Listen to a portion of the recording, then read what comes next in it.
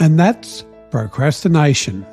I'll discuss how it can prevent you from getting started on your journey to make money online, and how the principles from the book, The Five Second Rule by Mel Robbins, can help you eliminate procrastination for good. Well, it's like that magical ability to turn a five minute task into a five hour adventure. It's when your to do list becomes a to do eventually list and you find yourself doing everything but the thing you're supposed to do.